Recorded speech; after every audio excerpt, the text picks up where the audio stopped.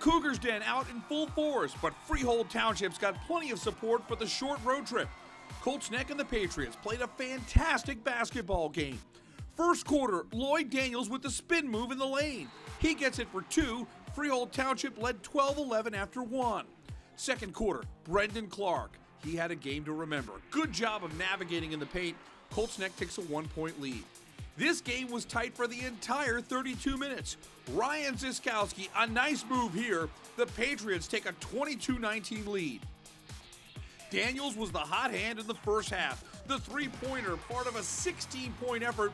The Cougars take a 24 22 lead. Freehold Township answers. Nick Facendo's been doing this all year long. Big buckets. At the half, we're tied up at 24 apiece.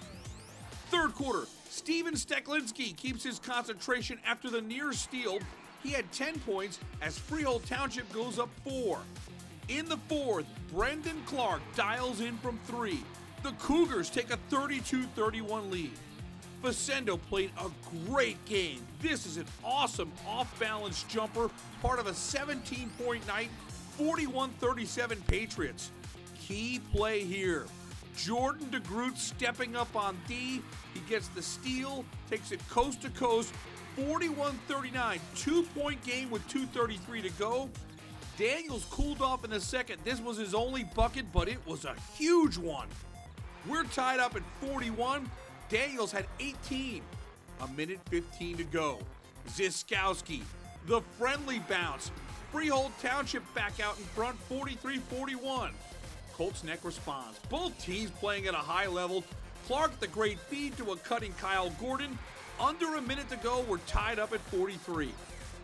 Nick Facendo goes to the free throw line. He missed his first. And look at the scene here. Into the sea of the Cougars den. He delivers a huge free throw. 44 43 Township, just 25 seconds to go. The Cougars do some awesome ball movement here. Tom O'Reilly gets the foul call. He goes to the line with 16 seconds left, and now it's the Township fans doing their distracting from the side. O'Reilly misses both free throws, but Khaled Mustafa comes up with a critical rebound. The Cougars call a timeout.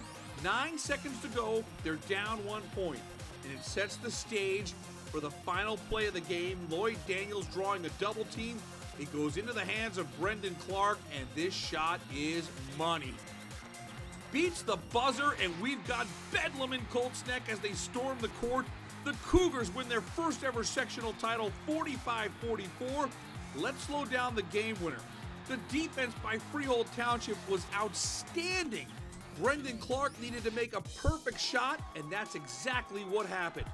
After the game, our TJ Brustowitz, in the midst of the chaos, got post-game reaction from the Cougars. We just stayed with it.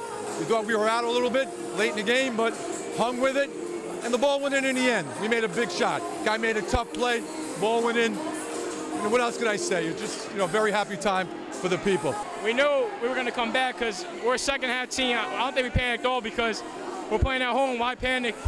And I don't know, what just happened, the craziest thing that's ever happened in my life. Words can't describe how great I feel right now. That was an amazing play by Clarke at the end. I, I don't have words. This is just an amazing feeling. It's what we worked for all year. I'm speechless.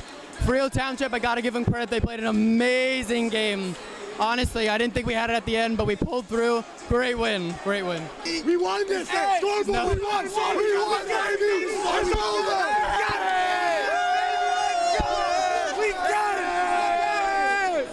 For more Jersey Shore sports, log on to shoresportszone.com.